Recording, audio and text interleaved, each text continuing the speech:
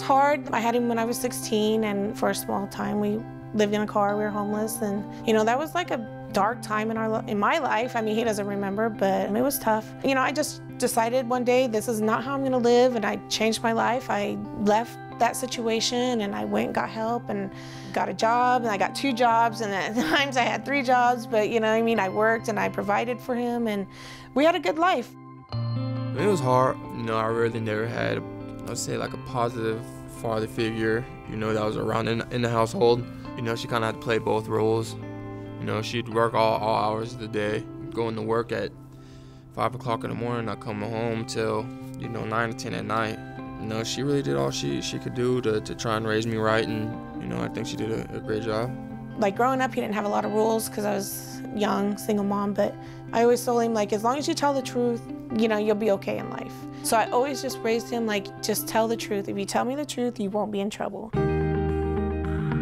Is a little town on the top of a mountain south of Bakersfield and north of LA. And there was probably one stoplight in the whole town. Everybody knows everybody. And so it was really nice having him to grow up there. And that's where he started youth football.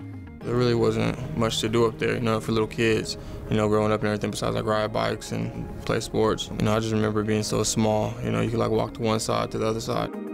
I had put Ryan into baseball first, and he just, no. So I'm like, when he turned eight, it was a small town. Everybody put their kids in football, you know? I mean, that's just how it was. So I just wanted to keep him in sports because keep him going on the right track. And he loved football. From the moment he ever played it, he loved it.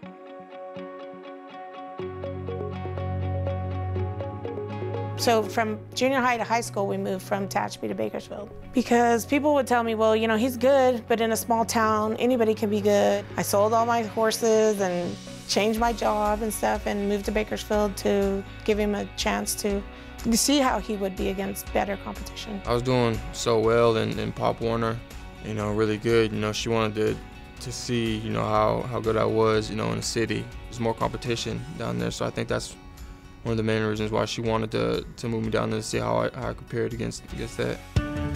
Bakersfield's a big football town. It takes its football really seriously. A lot of competition between the high schools over here. You know, Bakersfield's hot and it's tough, and uh, you got to be a little bit ornery to play here. So after his freshman year, where he played JV for us, we knew we had a pretty good athlete. We weren't quite sure how good yet, but the plan was to play him on varsity there, and he'd played both offense and defense for us. He was all state as an outside linebacker his junior year, 16 sacks. You know, we could play him anywhere. And his thing is he just wanted to win. I mean, man, we never lost any games. Like he was just running for three, 400 yards. And I remember like one time he had like a a game that we only ran like 250 yards and they reported like he had a bad night. You know, I guess that was the thing. If I didn't get 300 yards rushing on you, I guess, you know, you stopped me. You know, if I didn't get 400 yards rushing, you know, I guess it was Ryan's not having a good game. So, but it's fun, man. I miss it. You know, I wish it was that easy still. He started getting letters from the time he was like a sophomore. And I think his first letter was from the Oregon Ducks. Like it was crazy, like all the letters we're getting from all these schools and some big time schools were interested in him. And at that time he had like a really good GPA and stuff and he was doing really good. And then he had that one year where he just, he got a bunch of Fs and I mean, it was horrible because it was like in core classes. You know, some days I just didn't feel like going to school. Just, just I was going to school or I'd go to school and, and leave half the day or, or sleep in, and it really affected my grades. And, you know, it stopped all the colleges, you know. As soon as my grades started dropping and everything, it stopped all the guys from, from coming in. And I just told him, Ryan, look, even if you don't want to play football after high school, at least give yourself that opportunity to choose. You know what I mean? Do what you got to do to where when you graduate, you can choose to do it or not. First time I met Ryan was the spring of 2006. He was uh, going into his second semester his junior year. Well, first of all, he was an outstanding talent, and he had to do some academic work to make him NCAA qualified. So I sat him down with a counselor, explained the things he needed to do, and said, uh, we'll get together next fall after your senior season, and if you do what we've prescribed for you in the spring and the fall and in the summer, uh, then the scholarship at Fresno State will be there for you. Ryan was always used to people being like, Ryan, you know what I mean? Like, and just babying him and telling him how great he was and all this. And Pat Hill walks into that office, and I wasn't there, but I can only imagine because, and tells Ryan, you know, are you wasting my leap in time. You know, he's sitting right there at the table and uh, he's talking to, to, Coach Lewis and Coach Lewis looks at me, he's like, come here, Ryan. And Coach, Coach, uh, Coach Hill looks at me. He's like, Ryan? I was like, yeah. And he's like, are you effing wasting my time?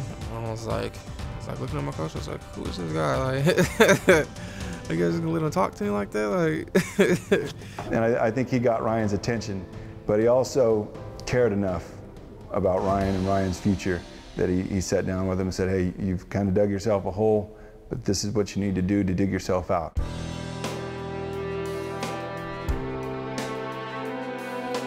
I mean, he was a lot like David Carr and those type of players, Logan Mankins that played here. I mean, whenever you have a first-round draft choice, it brings a lot of notoriety to the school. So their names are etched in stone here that they were first round draft choices here at Fresno State. Because of players like that, we were able to win. Under pressure, they throw it this way, set up the screen, and have room.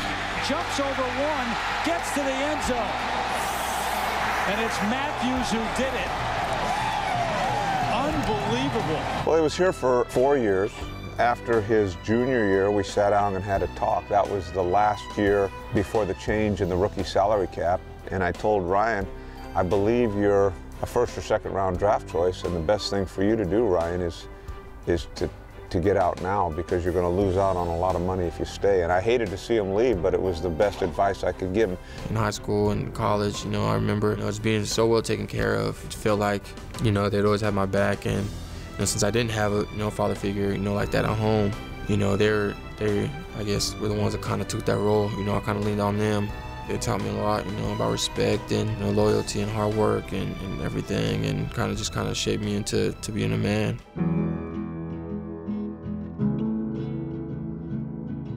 Everybody wants to be a good dad. I want to be a good role model for them.